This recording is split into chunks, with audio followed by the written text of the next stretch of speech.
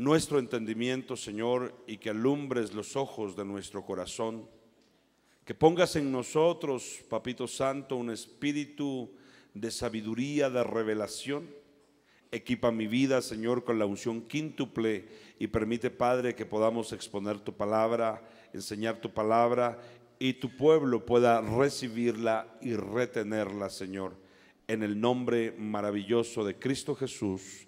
Amén, amén y amén. Bueno, hermanos, vamos a entrarle esta noche a esta enseñanza extraordinaria. El viernes vimos los hijos de Adán, hoy los nacidos fuera del huerto. Eh, pero esta tarde nos toca hablar de este tema maravilloso que se llama los espirituales. No sé si me pueden ayudar, ahí estamos ya, los espirituales. Hermano amado, eh, si a usted le preguntaran quién es un espiritual, ¿cómo lo definiría? Dice mi hermanita que alguien que tiene comunión con el Espíritu Santo. ¿Alguna otra definición de, espiritual? ¿Perdón? Alguien que es consagrado, nacido de nuevo. Mire hermano, nosotros tenemos que pasar por tres etapas de desarrollo. Los atrios, el lugar santo y el lugar santísimo. Eh, pero en esas etapas de desarrollo vamos encontrando, hermanos, la forma de cómo irnos volviendo espirituales. ¿eh? porque nosotros empezamos nuestro caminar de manera terrenal, después de terrenal se volverá espiritual y después de espiritual se volverá celestial. ¿Sí? Pero para ser espirituales, hermanos, voy a ver, voy a tratar aquí de ver si, si logro hacer una, una, una pequeña ruedita. A ver, permítame. Eh, vamos a usar, yo creo que este rojito, y vamos a hacer esta ruedita. Mire usted, voy a poner una ruedita aquí, otra aquí y la otra aquí. Eso que usted ve no son tres rueditas es una persona. es una persona, hermanos.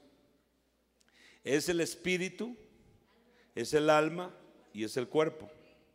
Eh, le voy a poner, le voy a poner letras. Eh, mire, eh, este es el cuerpo. Ah, no se ve, está muy delgadito, ¿verdad? Vamos a ver cómo le hacemos. Yo creo que voy a tener que usar este mismo. Este es el cuerpo. Si se ve la ceba, este es el alma y este es el espíritu. Entonces, eh, cuando la persona está sin Cristo, hermanos, eh, solamente está viviendo con cuerpo y con alma. Y entonces esta persona es almática. En sus pensamientos, en, el alma están sus pensamientos, sus sentimientos, su voluntad. Por eso que la gente cuando viene a la iglesia es voluntariosa, eh, se enoja, eh, hace berrinche, hace tantas cosas porque está acostumbrada a ese viejo molde del alma. Porque del alma eh, aprendimos en el mundo que no nos teníamos que dejar de nadie. Es más, hasta nos, amenazaban en casa chiquitos. Si venís y me decís que ya te pegaron, aquí te vuelvo a dar. Y entonces uno tenía que defenderse y volverse karateca en la escuela. Porque si no, recibía uno en la escuela y recibía uno en la casa. ¿Alguna vez usted lo amenazaron si llegaba golpeado de la calle y lo iban a, a volver a dar en su casa? Eso nos estaban enseñando violencia. Nos estaban enseñando, nos estaban generando violencia. No te tienes que dejar de nadie. ¿Eh? Tienes que ser como tu papá. Santo Dios. Y entonces se quedó, hermanos, se quedó, mire usted, ah, se quedó, eh, hermano, la, persona con, con cuerpo y con alma. Su espíritu está muerto. Cuando recibe a Cristo Jesús, en ese momento, hermanos, el Espíritu resucita. Y aquí hay otra persona. Este es su espíritu, ve usted. Este es su espíritu. Pero es hasta que recibe a Cristo.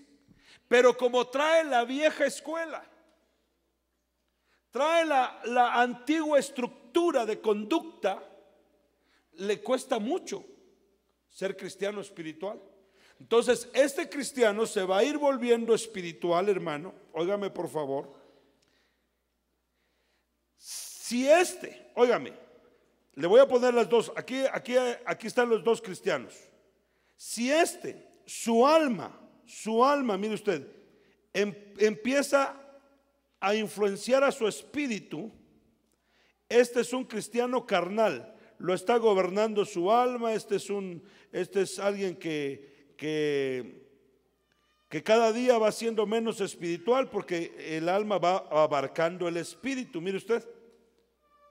El alma atrapó al espíritu, pero si la persona por el espíritu empieza a llenar el alma, mire usted, empieza a, llenar, esta persona su alma va recibiendo espíritu y se va llenando de espíritu y esto se va volviendo y se va haciendo la persona cristiano espiritual.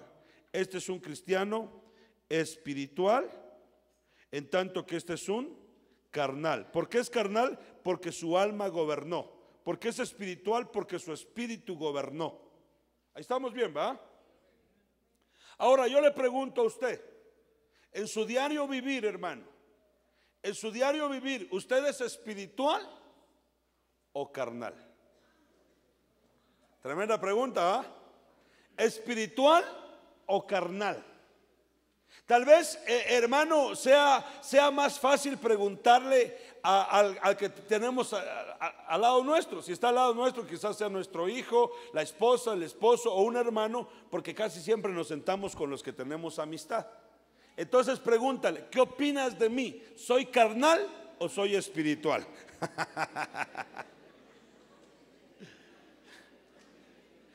hey, pero no se vale decir mentiras.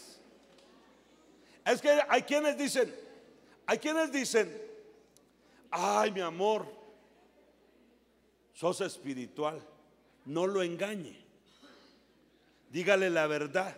Si es espiritual, dígale, eres espiritual. Y si no, Padre Santo, el que no te conoce, que te compre.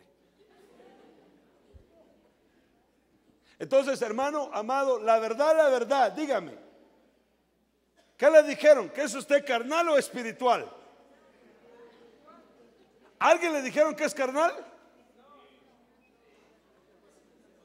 Levanten su mano el que le dijeron que era carnal.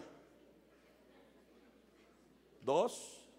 Tres, cuatro, cinco, seis, siete, ocho. Padre Santo, bendito Dios, mire usted qué bonita iglesia. Estamos en una iglesia de puro espiritual. Eh, óigame, ahorita le vamos a aplaudir al Señor. Una iglesia de puro espiritual y de seis sinceros. Ahora sí apláudale al Señor, hermano.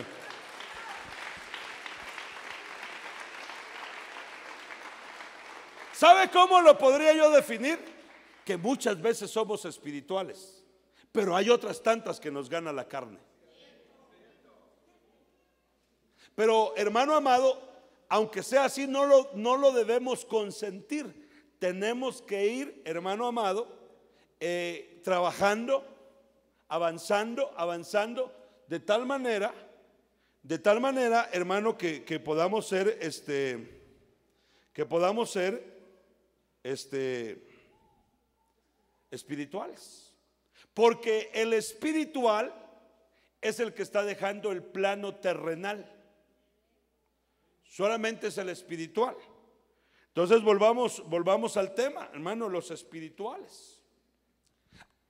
Y, y aquí nos dice la Biblia, aparte de lo que nos dijeron, de qué manera nos podemos identificar nosotros.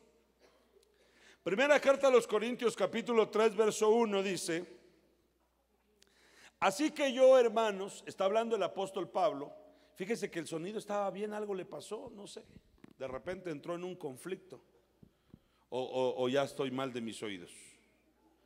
Yo lo escuché que algo pasó.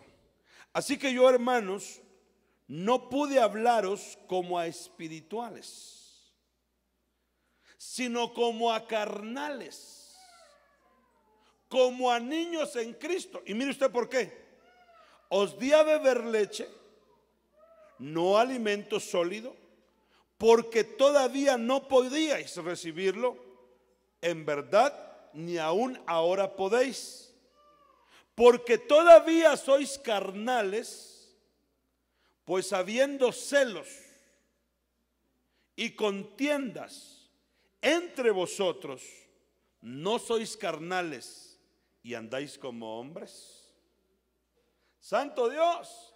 Hermano, hermano, aquí la Biblia está, está describiendo cuáles son las características del espiritual y las del carnal.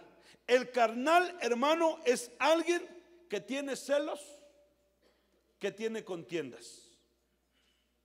Y el carnal no puede entender las cosas espirituales, por eso no le hablan cosas espirituales. Puede ser que aquí todos estamos en paz. Bueno, me imagino. ¿Todos estamos en paz? ¿O tiene usted disgusto con alguien? Bueno, pero fíjese hermano amado que donde se hace evidente de manera notoria, sobresaliente, es en la casa.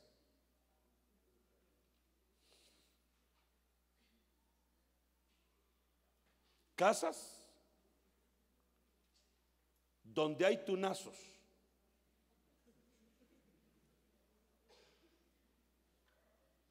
Gritos,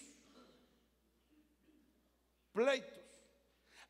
De repente, bueno, digo que de repente le sale una palabrota así, mire usted, pero mira.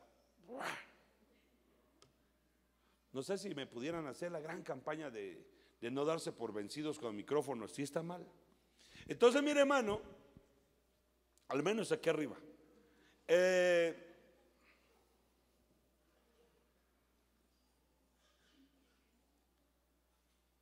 se hace evidente que hay, hogares que aunque van a la iglesia, los habitantes de una casa, los, miembros de la familia, a veces se vuelven los intocables. En serio, hermano, son intocables. No les puedes preguntar algo, no les puedes, eh, porque todos se lo agarran así a, pleito. ¿Ah? Y entonces, mis amados, parece que te tuvo miedo, fíjate. Te tuvo miedo la bocina. Aleluya. Entonces, mire, hermano, si a alguien le gusta el pleito, aunque cante bonito, aunque profetice y hable bonito de la palabra, es carnal.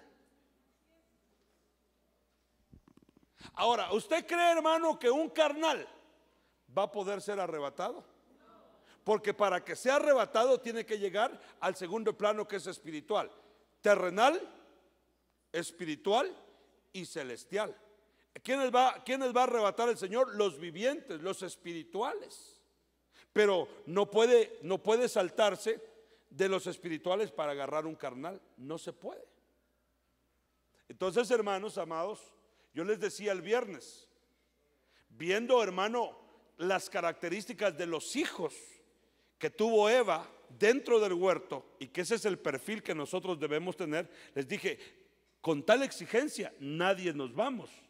Sin embargo, todos tenemos la posibilidad de irnos. O sea, ¿qué estoy diciendo? Puede ser que ahorita no damos la medida, pero podemos tomar la decisión de darla. Podemos tomar la decisión de darla. Yo no le puedo decir que, que usted respire profundamente y cuente hasta 10 porque eso es humanismo. No le puedo decir que se proponga usted por estas 24 horas ser espiritual porque es humanismo. Le tengo que decir que usted debe depender de la gracia y del Espíritu Santo y de la palabra para volverse espiritual. Hermano, qué bonito es que seamos cristianos temerosos de Dios. Qué bonito que seamos cristianos, hermanos, donde nuestra casa es, una, es un paraíso, lugar de reposo, un lugar de refugio. Regresamos cansados, extenuados quizá del trabajo, las tareas cotidianas, pero cuando se llega a casa se respira un ambiente. Ah, qué bonito, qué rico. Hace muchos años, hermano, le pusimos nombre a nuestras casas. A quienes le pusieron casa de santidad, casa de alegría, casa de amor, casa de regocijo, casa de santidad. Pero hermanos amados, hay quienes hermanos le pusieron nombre, pero adentro casa de pleito, casa de gritos, casa de golpes, casa de mentadas, casa...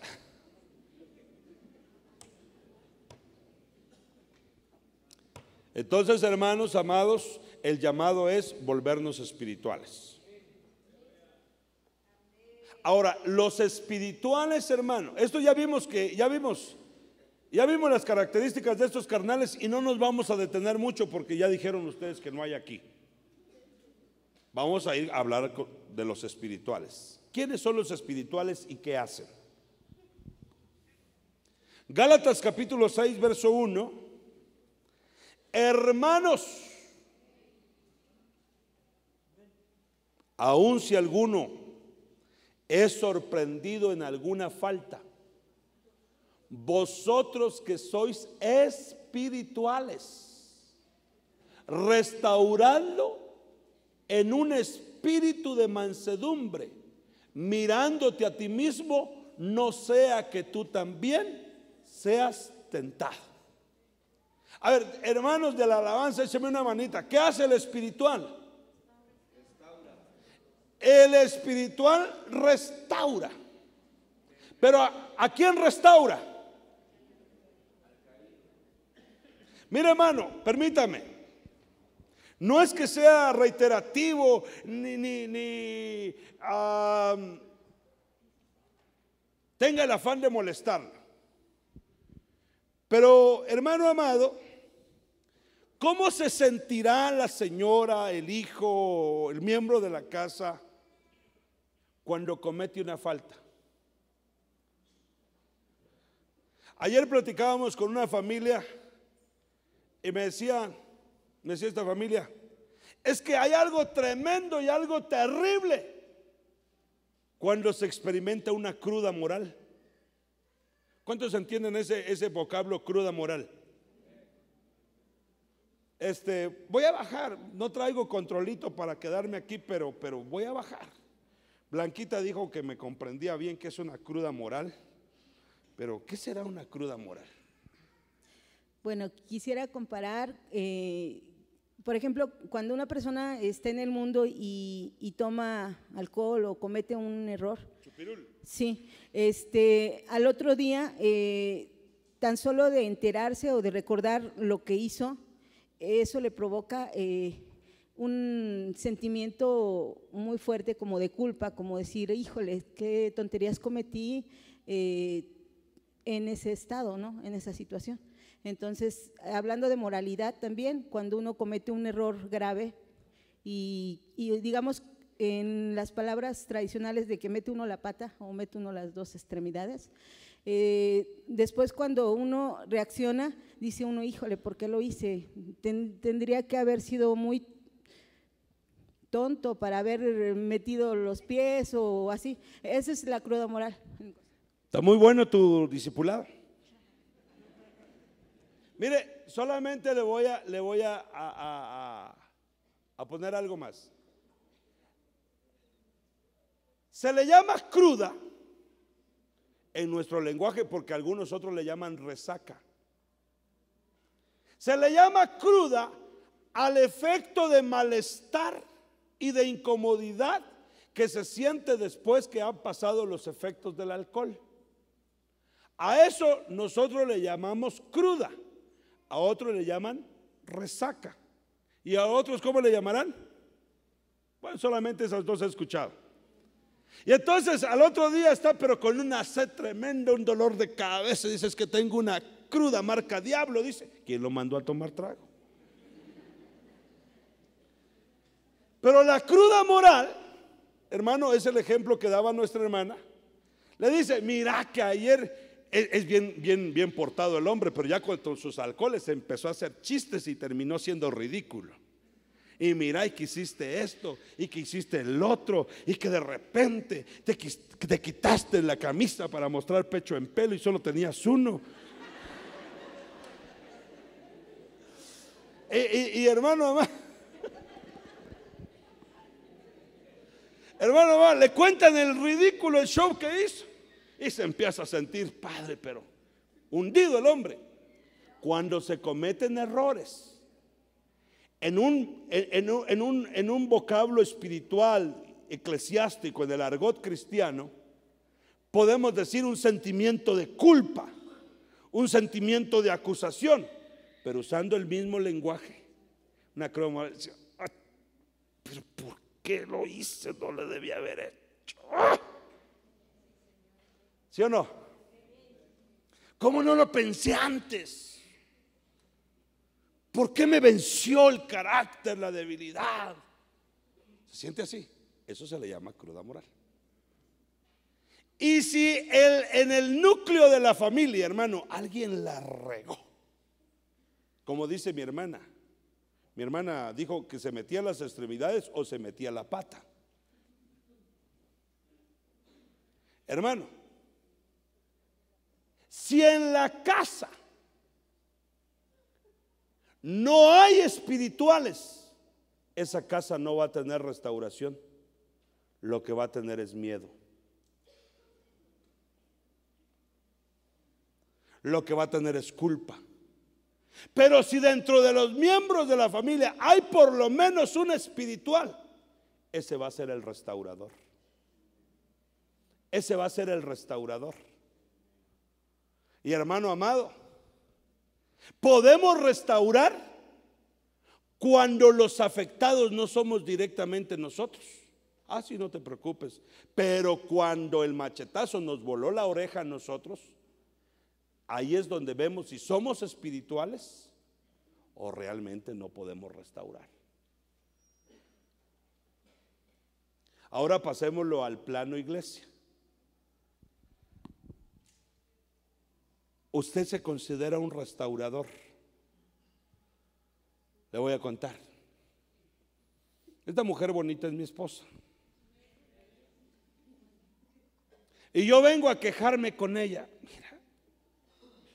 Qué injusticia me cometí. Si ella es carnal, va a empezar como a darme por mi lado. Ay, sí, pobrecito, sí. Es que esos son los carnales, esos ancianos. Lo viera, sí. No lo digo por ustedes, o sea, esto es un ejemplo, porque ustedes son lindos. Son tremendos. ¿Ah? Y entonces ella me empieza a dar por mi lado.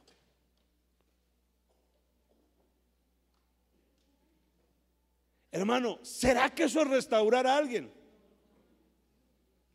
No, hermano. Restaurar a alguien es llevarlo a una sanidad. Haciéndole ver, a veces sí, tiene la razón. Y si, y si le hicieron injusticia, llevándolo a perdonar. Porque si no, hermano, vamos a ser como aquellos que curan con liviandad la herida del pueblo. Y vamos a ser como aquellos pastores que dice la Biblia que lamen las llagas, o sea, pastores, no lo quiero decir. Pero nosotros tenemos que ser espirituales que restauran. Y una cosa que tiene que hacer el que restaura es juzgar con buen juicio con buen juicio. ¿Mm? Llevar a la gente. Ah, tiene la razón. Tiene la razón, hermano. ¿Eh? Lo que tú tienes que decir, ah, no, sí, qué bárbaros, ¿cómo te van a hacer eso? Son unos animales estos. No, no, no. Lo que tú tienes que decir, no, sí, pero Dios te está dando la oportunidad de perdonar. Dios te está dando la oportunidad de perdonar. Yo tuve un desayuno ayer con unos hermanos que estaban abogando e intercediendo por otros.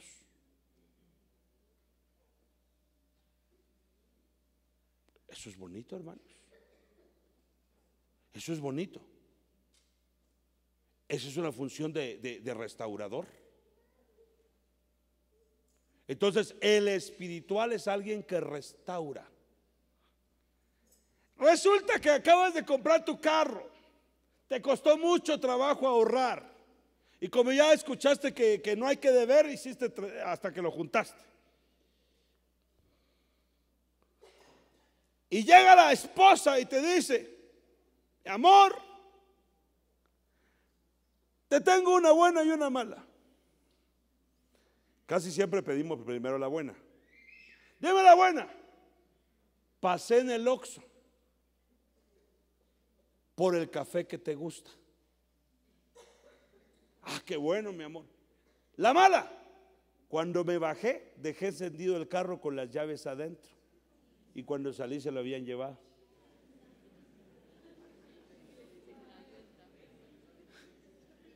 ¿Qué cree que hace? Voy, a, entrevistar a Carlitos. Le llevaron su café, pero ya no tiene carro. Cinco años de trabajo. Se molesta. Sí, me enojaría mucho, pero nada más es. Sí, no creo otra cosa, no.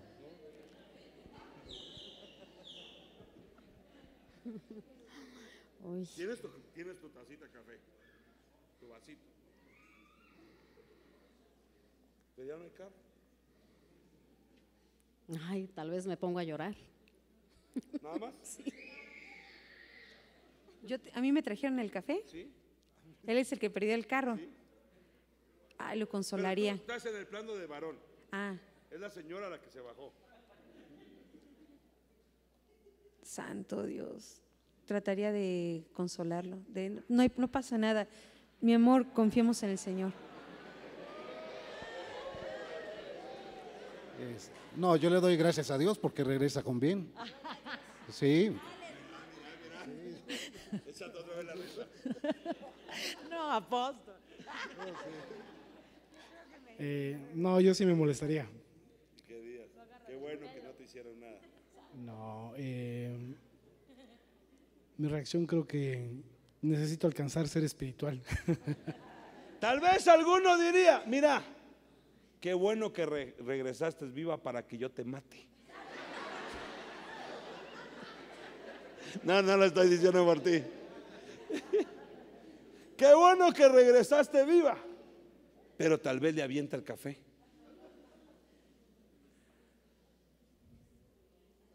Pero ¿sabe qué debiera ser?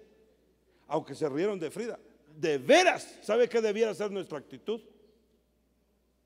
Abrazar. La verdad nos costó mucho el carro y es una gran pérdida. Pero tu corazón es más valioso. Esa debería ser nuestra actitud. Esa debería ser porque somos res restauradores. ¿Cómo cree que llega la señora que ya llegó a pie? Llega deshecha. Llega mal. ¿Qué debe encontrar un espiritual? Un espiritual que lo restaure. Hermano, cuando usted nació, nació con carro.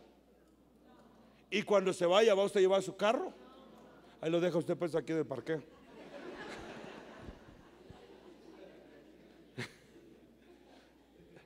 Hermano, siervos, tenemos que crecer de veras. ¿Qué es más valioso, un corazón o un carro? Una lámina, unas llantas. Pero nosotros como estamos muy materializados, muy enfocados a lo terrenal, en- por menos de un carro, por un pan hacemos pedazo a alguien. Pero el espiritual es restaurador. ¿Cuántos quisieran ser restauradores? ¿Cuántos quisieran ser restauradores? Hermano, qué bonito tener una iglesia de restauradores. Cayó el hermano, lo levantamos, lo ayudamos, lo, cubrimos. Alguien falló en casa, lo consolamos, lo, lo fortalecemos. Pero ¿por qué son así? Porque nosotros somos los embajadores del cielo. Porque nosotros tenemos a Dios adentro. Porque nosotros hemos sido comprados y hemos sido llamados hijos de Dios. Qué tremendo, hermanos.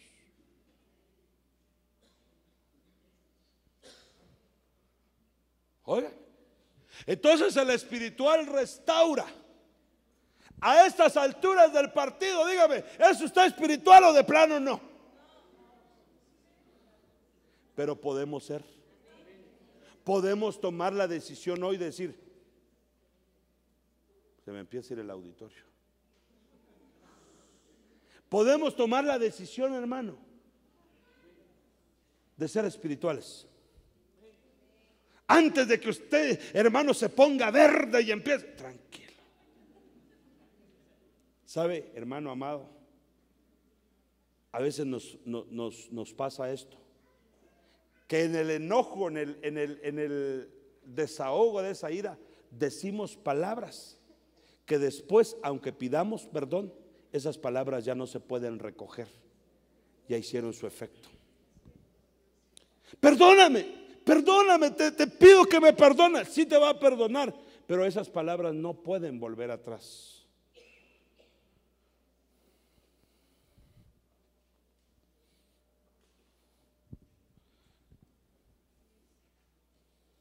Le voy a poner un ejemplo. Alguien tiene una botellita de agua. Gracias, mamita. Le dije mamita porque es mi esposa. Gracias. Siervos, estoy enojado. En un enojo hice eso, con mis palabras. Ahora, por más que yo pida perdón, voy a recoger eso. Lo voy a tratar con algodoncito, lo voy a agarrar, lo voy a exprimir. ¿Usted cree que lo voy a lograr recoger todo? Más de alguna huella dejó eso. Antes de hacer esto, piense muy bien. Porque una vez hecho, ya no se puede recoger. ¿Cuántos dan gloria a Dios? Mire usted, ya no le puedo devolver su agua como me la dio.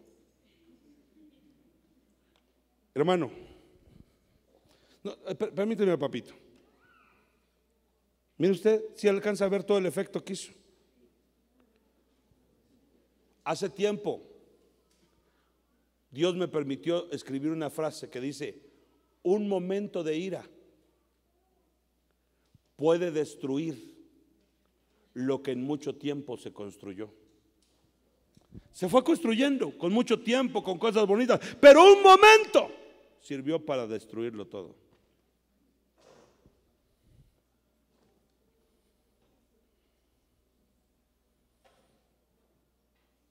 Dios quiere que su pueblo sea espiritual, que sus siervos seamos espirituales, que a partir de hoy tomemos muy en serio lo que estamos escuchando.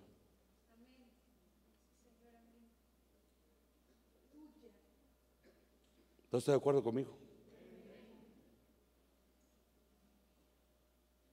Seamos espirituales. Luego sigue diciendo, primer, Pedro, primer libro de Pedro, capítulo 2, verso 1. Gracias, hermano, perdona. También vosotros, como piedras vivas, óigame, como piedras vivas, sed edificados como casa espiritual para un sacerdocio santo, para ofrecer sacrificios espirituales aceptables a Dios por medio de Jesucristo. Hermanos amados, aquí como espirituales, ¿qué hacemos? Allá era restaurar. ¿Y aquí? Aquí ofrecemos sacrificios espirituales. Tenemos un sacerdocio que ofrece sacrificios espirituales. Ahora, ¿cuáles serán esos sacrificios? ¿Perdón? No te escuché, hija. Dice mi hermana que el ayuno. ¿Usted qué, qué dice de eso? No, ya te dijeron que no, ¿eh? No te dicen enojar, dicen que no. Dígame otro. Servicio a Dios, ¿ustedes qué dicen? ¿Están de acuerdo o no? Ese sí.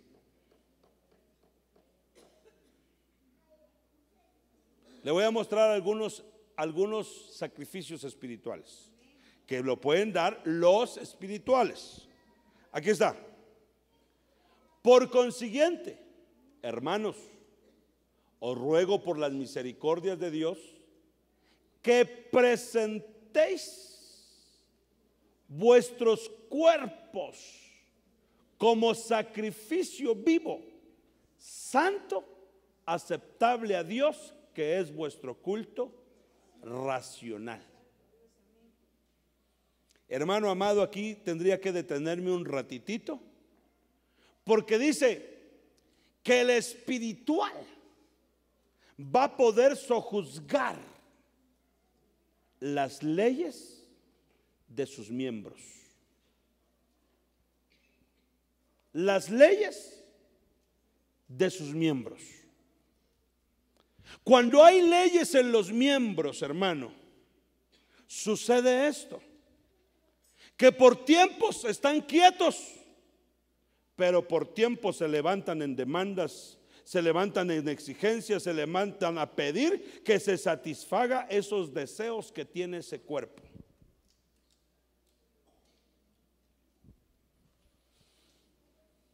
Sí, Señor. Hay leyes que están grabadas, que están impregnadas en los miembros.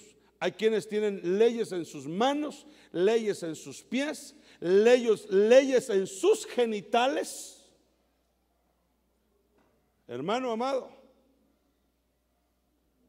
¿no conoce usted cristianos que con mucha facilidad alargan la mano y pegan? ¿No conoce usted cristianos que con mucha facilidad... ¿Si sabe qué es esto? Es una mano moviendo, pero robar. Ah, tiene el pie suelto, rapidito patea. No, no se dice patea, da puntapié, pero es que si patea es que porque patea.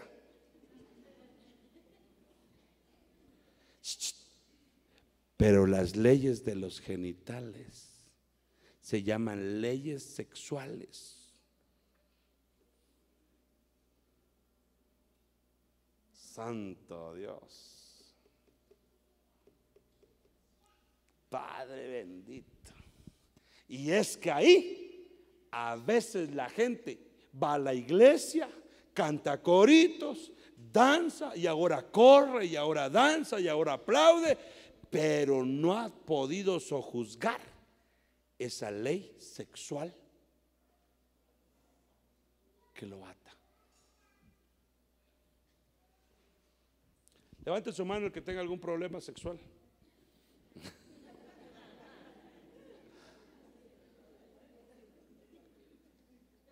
No lo decimos porque es, es, muy bochornoso, es muy vergonzoso, pero más de algún cristiano sabe que tiene ese problema y camina con él. No lo dice, lo disimula así, lo esconde sí, pero él lo sabe que lo lleva adentro.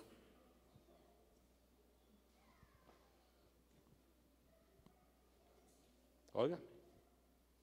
Pero el espiritual, cuando tome esa decisión, es decir, yo voy a tomar la gracia, el Espíritu Santo, la palabra, y voy a sojuzgar esto, le va a venir una capacidad sobrenatural para que ese cuerpo sea ofrecido en sacrificio. De repente, ya no va a querer más pornografía. Que dicho sea de paso, hermanos, los que ven eso, la verdad no sé qué le ven. Pero yo creo que aquí nadie va. Pero se sabe que a veces cristianos miran esas cosas. Como que estoy muy así, muy, muy, muy cáustico, ¿va? ¿Le bajo un poquito? ¿Sigo igual? Gracias. Hermano amado, resulta que hay cristianos, de veras, de veras, que se echan de repente. Y al otro día tiene una su cruda moral, pero una su culpabilidad tremenda, porque se miraron, no una su película completa, 10, 15 minutos, pero 10, 15 minutos es lo mismo que tres horas.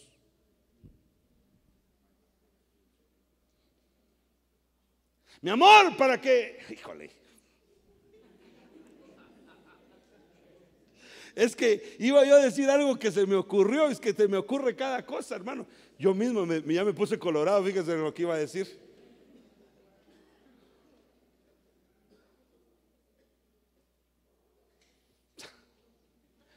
Sí le digo que, sí le digo que pensé. No, no quiere. A ver, ¿quién quiere que yo diga lo que pensé? ¿Y quién no?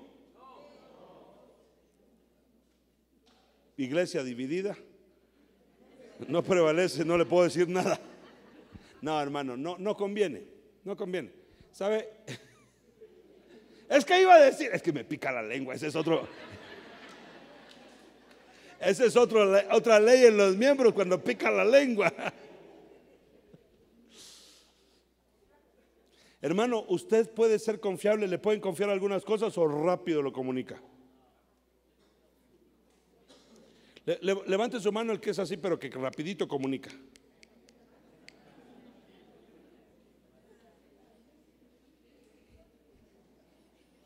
Llegó uno a ministrarse, te lo cuento. Y, su, situación era bien cardíaca.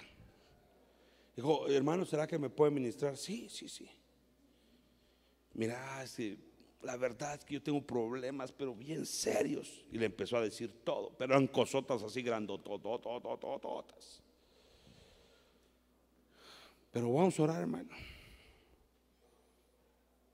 Y le dice el, que estaba, el, que primero ministró, pero aprovechando que ya estás aquí, hermano, ¿me permitís que yo también me ministre contigo? Le dijo, pues sí, hermano, fíjate que tengo un problema, no puedo guardar nada de lo que me dicen.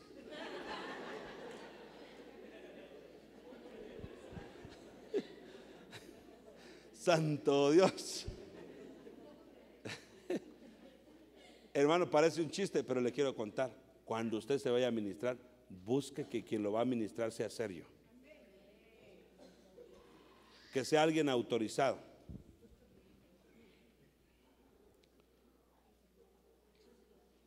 Entonces hay leyes en los miembros. Hay leyes en los miembros que el espiritual los va a poder sojuzgar. Veamos algo más, rapidito. Filipenses capítulo 4, verso 18. Por lo, pero lo he recibido todo y tengo abundancia. Estoy bien abastecido, habiendo recibido de Epafrodito lo que habéis enviado. Óigame, fragante aroma, sacrificio aceptable, agradable a Dios. Hermano, el espiritual puede dar. El espiritual puede ofrendar. Pero el que no es espiritual no puede hacerlo, hermano. No puede. No puede, simplemente su corazón no da. Su mente no lo capta, porque dice que el espiritual recibe las cosas espirituales. Por eso el apóstol Pablo dijo, yo les quería decir cosas espirituales, pero no las pueden llevar porque son carnales. Entonces, hermano, por más que uno diga, por más que uno machaque, por más, por más, por más, simplemente no entra. porque esto lo pueden recibir los espirituales.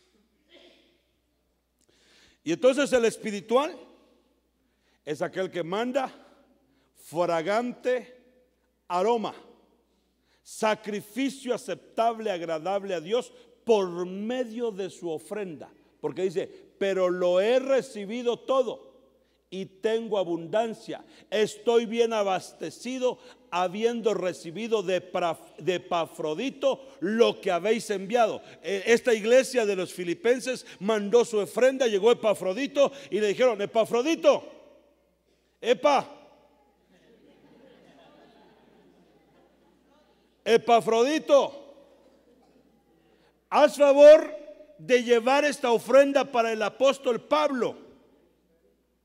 Y entonces llevaron la ofrenda, hermanos, y le dijeron, Pablo, esta ofrenda te lo han enviado los filipenses. Y entonces dice, lo he recibido y estoy abastecido. Tengo abundancia. Aleluya. Porque me han enviado fragante aroma. No dijo me han mandado ofrenda. Me han mandado sacrificio aceptable. No dijo ofrenda. Me han mandado sacrificio agradable. Hermano amado, ¿para quién? Para Dios.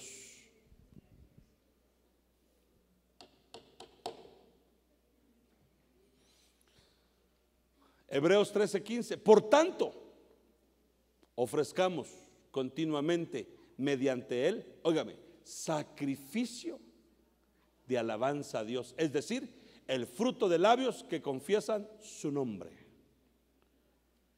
Eh, ¿Alguien me puede ayudar en el teclado? Gracias, siervo. Fruto de labios que confiesan su nombre. Eso es alabanza. Hoy, ¿sabe usted que hay mucha iglesia que dice, ahí voy a llegar a la palabra? Es más, hasta el que dirige pasa, pasa la alabanza y dice, hermanos, ahora es, es el momento del plato fuerte. ¿Cuál plato fuerte, hermano? Esa es una equivocación, porque el espiritual es el que va a estar en el tiempo de la alabanza. El espiritual va a estar y no va a estar y va a llegar a escuchar que otros canten. Él va a cantar. Él va a pronunciar el nombre. Él va a abrir sus labios. Él va a derramar su vida en adoración a Dios. Fruto de labios que confiesen su nombre. Le voy a decir dos. Le voy a decir primero, el primer canto que yo entoné cuando me convertí a Cristo. Ese es el primerito. Te amo, Jehová, fortaleza mía.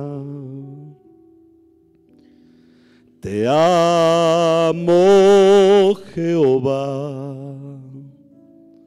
roca mía. Te amo, Jehová, castillo mío. Mi fuerza está en ti, en ti confiaré mi escudo y mi salvación.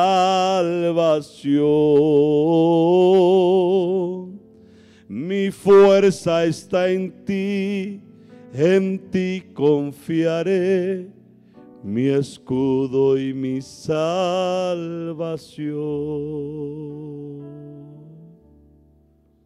Este es un fruto de labios que confiesan su nombre. Dice, te amo Jehová fortaleza mía. Ese fue el primer canto que yo entoné.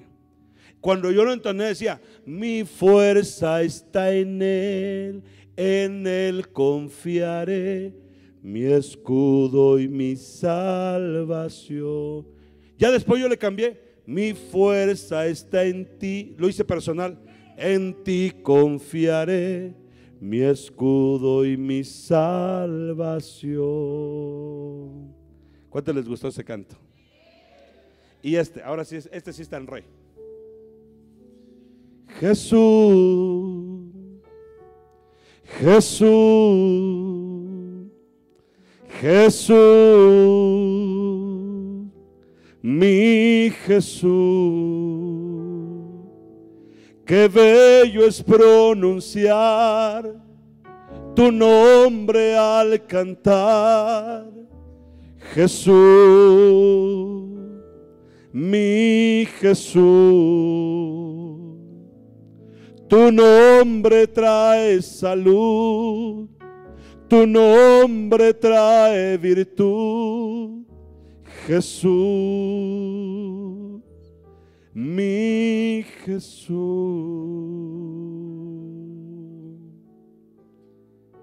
Hermano, hermoso pronunciar su nombre. Hermoso, hermano, decirle Señor Jehová, Señor Jesús. Señor Espíritu Santo. Oh Rabai que. Sacrificio, fruto de labios que confiesen su nombre. Aleluya. Pero eso corresponde a los espirituales. Al que no es espiritual le tiene que decir, hermano, pase, venga, dance, métase con Dios, levante sus manos, reaccione, por favor. Se tiene que estar hostigando, empujando, regañando. Pero el espiritual, Jesús, Jesús, Jesús, mi Jesús. Qué bello es pronunciar tu nombre al cantar, Jesús, mi Jesús. Tu nombre trae salud, tu nombre trae virtud, Jesús mi Jesús. Aleluya. Aleluya. Aleluya, mi Señor, mi Jesús.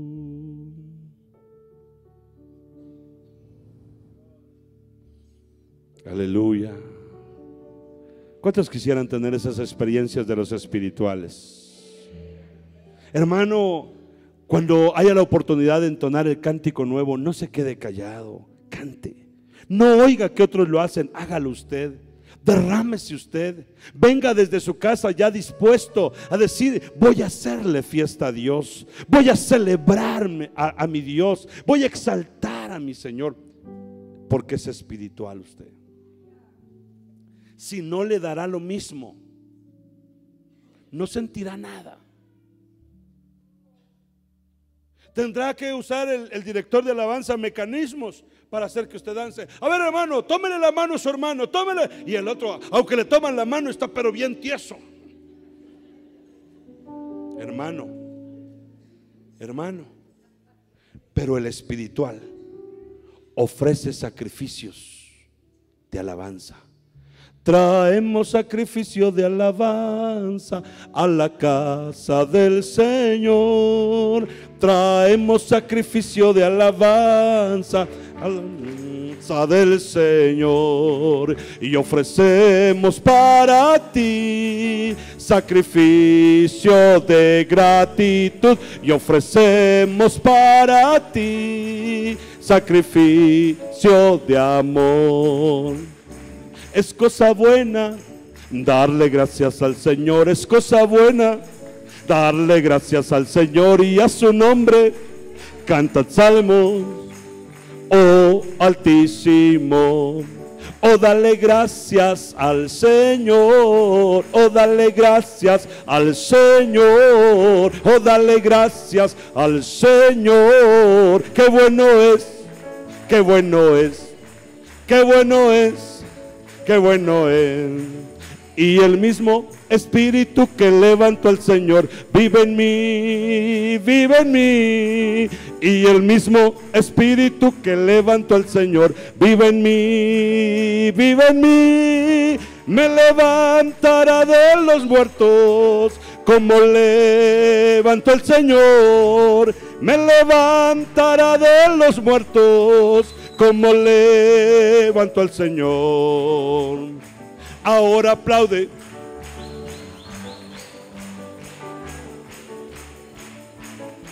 Si tú y yo aplaudimos, la gloria del Señor vendrá con su espíritu. Él nos llenará. Ahora canta, canta, canta, canta, canta delante del Señor. Si tú y yo cantamos, la gloria del Señor vendrá con su espíritu. Él nos llenará. Ahora grita, grita, grita, grita, grita delante del Señor. Si tú y yo gritamos, la gloria del Señor vendrá con su espíritu. Él nos llenará. Ahora salta, salta, salta, salta, salta delante del Señor. Si tú y yo saltamos, la gloria del Señor vendrá. Con su espíritu Él nos llenará. Ahora gira, gira, gira, gira, gira delante del Señor.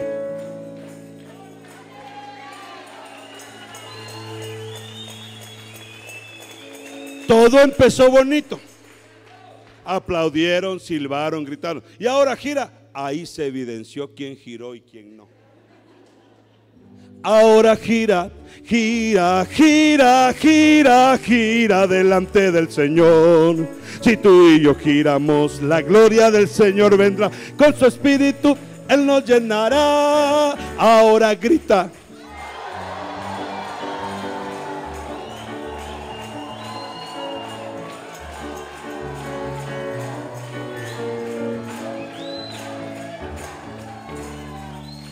Si se da usted cuenta la diferencia de una iglesia viva, una iglesia espiritual? Inmediatamente genera un ambiente de fiesta, una atmósfera de alegría, una atmósfera de alegría.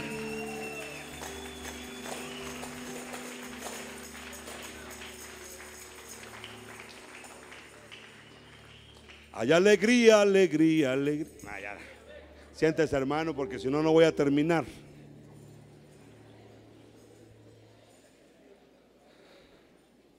Aleluya. ¿Cuántos dan gloria a Dios? Esto pueden hacerlo los espirituales, luego adorar, un cántico nuevo, hermano, fluir en los dones. Esa es la vida de la verdadera iglesia espiritual. Amén. Pero no se queda ahí no se queda ahí, tiene que avanzar un poquito. Y ahora, hermano, ya no debe ser solamente espiritual, sino mire a dónde lo lleva el Señor. Por tanto, sed vosotros perfectos, como vuestro Padre Celestial es perfecto. Si, estaba cuesta arriba, ser espiritual, Ahora imagínese perfecto. Sed perfectos, no como el pastor, no como el diácono, no como el anciano. Dice, como vuestro Padre Celestial es perfecto. Si de espiritual se disfruta la vida cristiana, ahora imagínense qué comunión se ha de tener con Dios. seguramente que Él baja, le habla su perfecto, se muestra su perfecto, su perfecto lo respalda, su perfecto lo ve, su perfecto lo, lo bendice. Hermano, ha de ser una gloria extraordinaria para el perfecto. ¿Mm? Dice, sed perfectos Vuelve a decir ahora el apóstol Pablo, allá, allá lo dijo Mateo, pero ahora, no, no, Mateo, el Señor, pero ahora dice, por lo demás hermanos, 2 Corintios 13, 11, regocijaos, alégrense. Por lo demás hermanos, alégrense.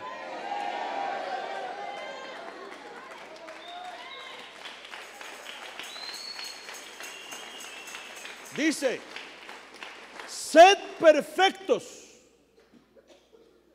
confortados, sed de un mismo sentir, vivid en paz y el Dios de amor y paz será con vosotros.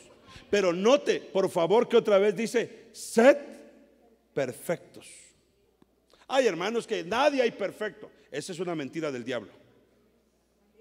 Porque si nadie pudiera ser perfecto, Dios no, no, no, no, no nos los pediría.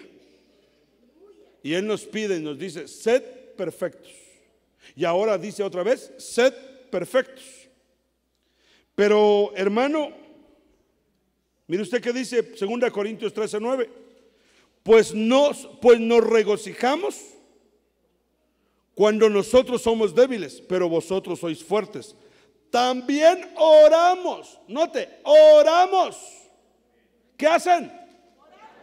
Oramos. Lo que menos le gusta a la gente es orar. Oramos por esto. Mire usted que era el motivo de su oración. Que vosotros seáis hechos perfectos. Pastores. No hay ninguno. Pastores. Ancianos. Nuestro trabajo es orar que la iglesia sea perfecta.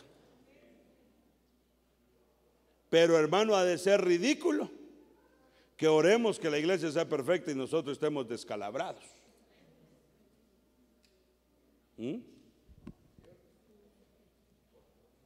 Entonces hay que orar. ¿Cómo alcanzo la perfección? Hay que orar, hay que orar, hay que orar, hay que orar. Pablo lo alcanzó. Mire usted cómo dice Pablo. Así que todos los que somos perfectos tengamos una misma actitud. Y si en algo tenéis una actitud distinta, esto también os lo revelará Dios. Hermano amado, el que es perfecto, le es fácil ponerse de acuerdo. Pero si no, no hay acuerdo. No hay acuerdo, hay discrepancia, hay pensamientos distintos, hay ideas diferentes, hermano. Es horrible. Colosenses 4:12. Epa, e, Epafras, Epafras, que es uno de vosotros, siervo de Jesucristo, mire usted, os envía saludos. Está saludando Epafras ¿Le hubiera gustado que le hubieran puesto Epafras? ¿Le hubiera gustado o no? ¿O Epafrodito? Eso parece Epafras, pero en, en diminutivo, Epafrodito.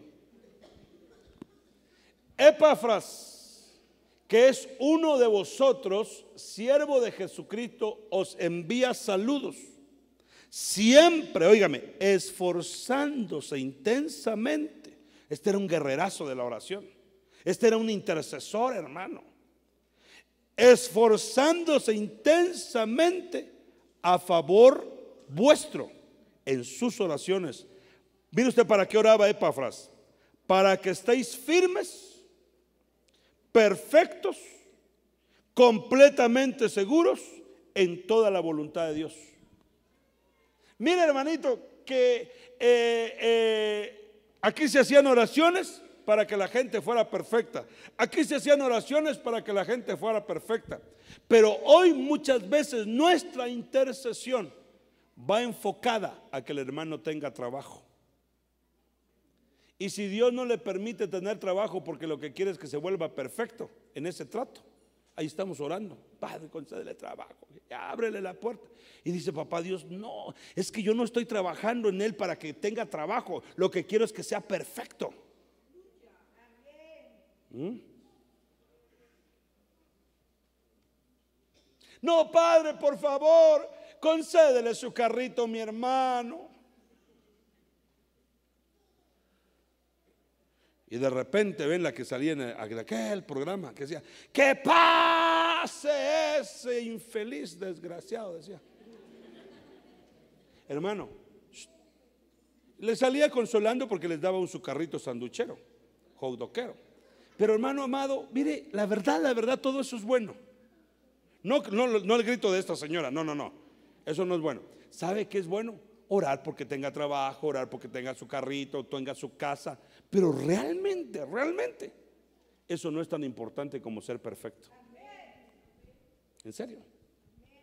Eso no es tan importante como, como, como ser perfectos. Imagínense que tiene un Lamborghini y es imperfecto el tipo. Va a matar a la gente que se le ponga enfrente. Entonces hay que orar por la perfección.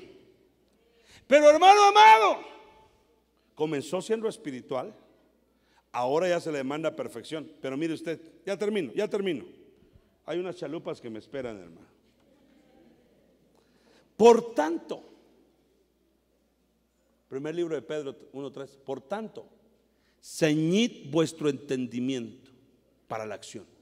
Sed sobrios en espíritu, poned vuestra esperanza completamente en la gracia. Óigame, ¿en qué vamos a poner nuestra confianza? Le dije el otro día que la gracia se nos ha dicho que es el don inmerecido, que es el regalo de Dios, lo cual es correcto. Pero le, le doy una aplicación así directa. La gracia es la intervención divina, la intervención de Dios a tu favor. Es la intervención de Dios a tu favor. Entonces pon tu confianza en esa intervención de Dios a tu favor.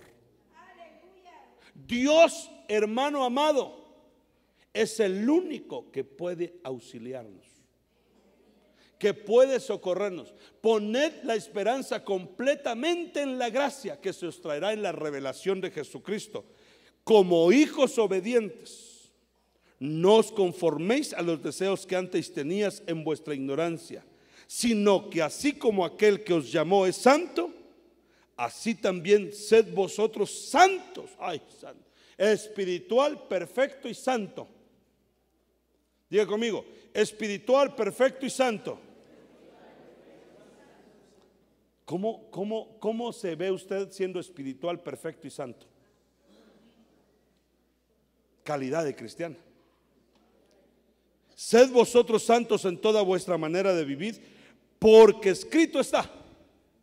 Sed santos, porque yo soy santo. Y entonces, hermano, este es el que va a ver al Señor en su parucía. Porque dice aquí, sin santidad nadie verá al Señor.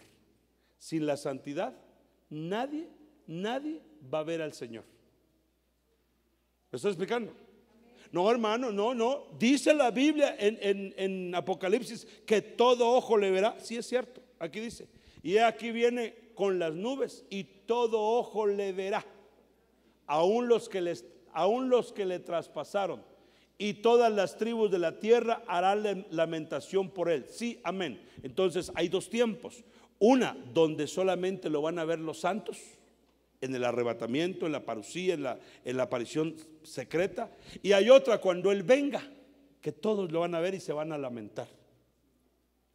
Pero usted no se está preparando para verlo cuando todo ojo le va a ver. Usted se está preparando para verlo cuando solo los santos lo van a ver. Amén y amén. Caso cerrado. Póngase de pie, por favor.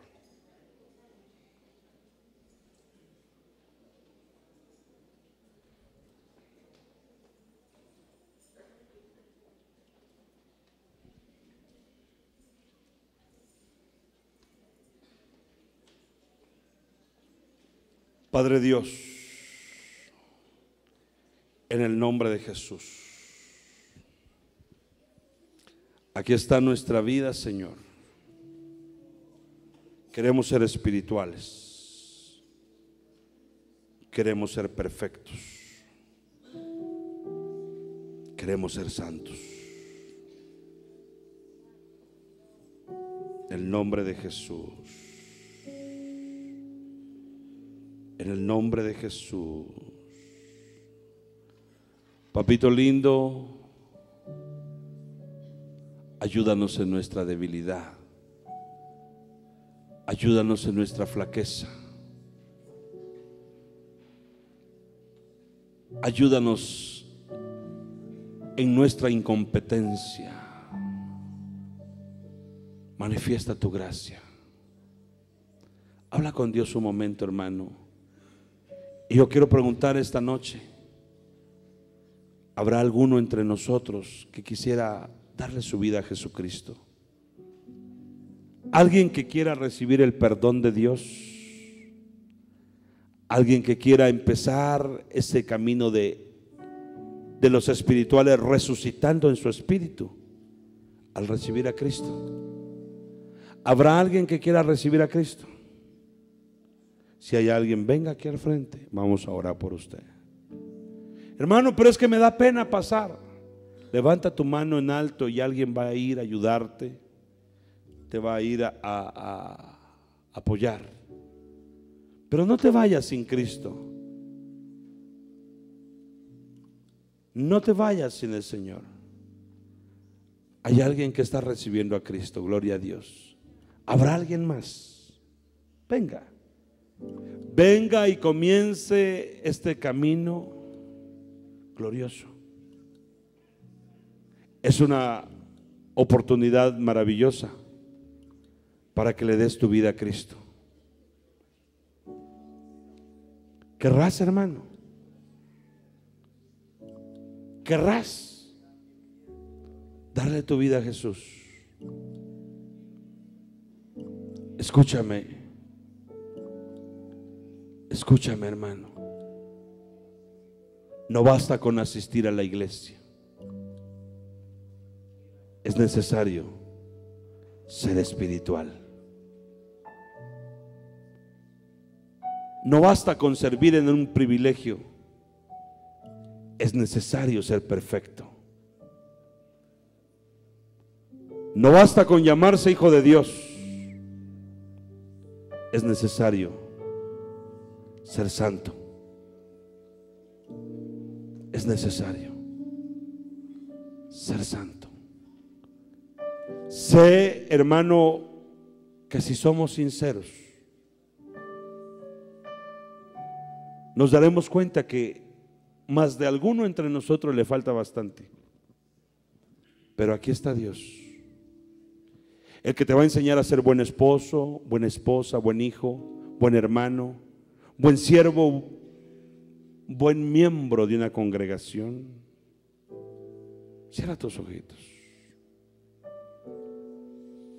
Padre Dios, hoy queremos levantar nuestra mano. Los que reconocemos que nos falta. Si tú te reconoces falto, incompleto, si tú te consideras quizá carnal, poco espiritual, imperfecto, hermano, levanta tu mano y pon tu confianza por completo en la gracia, en la gracia que se os traerá. Habla con Dios un minuto. Padre Dios, aquí estoy. No puedo, no voy a luchar con mi fuerza. Hoy me deposito en tu gracia. Hoy me entrego a tu gracia, a tu poder, a la manifestación preciosa de tu Espíritu Santo. Para que hagas tú en mí aquellas cosas que no puedo hacer. ¿Le quieres decir a Dios? Entrégate en su gracia. Entrégate en su gracia. Gracias, amado Dios. En el nombre poderoso de Jesús. Te amamos. Te amamos, Señor. Gracias, Señor. Santo eres tú, Dios. Santo eres y digno de adoración, digno de alabanza. Digno eres tú, Señor. Aleluya. No salgas de su presencia, hermano. Tal vez le puedas decir, Santo es el Señor. Digno de adoración.